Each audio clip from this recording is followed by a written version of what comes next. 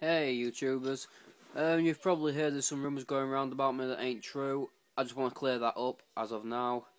Um, it's because of my ex, Psycho, what can I say?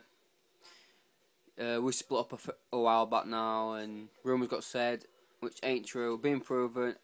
So, personally, that's for you lot that don't believe it, that's for you haters. Personally, I couldn't care less. Yeah, I do apologise for deleting the videos, but I only did it because I thought at the time it was the best thing to do. But just being, I you could say, keep in touch to tell me that it's not the right thing to do. If you don't like me, then so be it. Why spread rumours? That ain't true. Personally, I couldn't care less. No skin off my nose, never, li never like I had shit said about me before.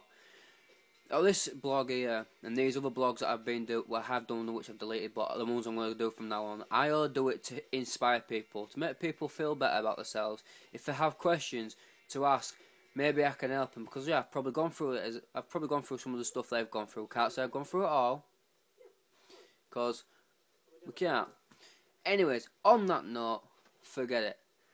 But um, got up this morning, did my exercises, went into town to end up going to Poundland. Did get told then we was I was gonna get a, a little Yorkie and my dad's saying that I could have his. Um, got a lot of stuff for it. Spent like fifty quid on the dog. Brought the stuff, brought the dog home, and all it did was yelp, yelp, yelp, yelp, yelp. So basically, I got to the point where I said to my dad, I said, "Do me a favour, pal. I'm gonna have to bring me dog, bring that dog back." He's like, "Why?" I said, "Because it ain't there." The neighbours are complaining about me yelping. Um, did another driving lesson today.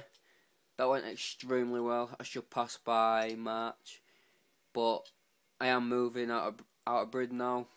I should be going next couple of next couple of days, should say.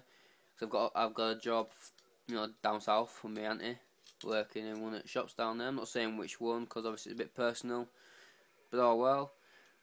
Other than that, I just want to say thank you to all those that have viewed my videos and have left some comments, you know what I mean? We are going to get haters, but so be it. But like I said before, I do apologise for deleting the videos, I thought it was the best thing to do. But, hey. Bye!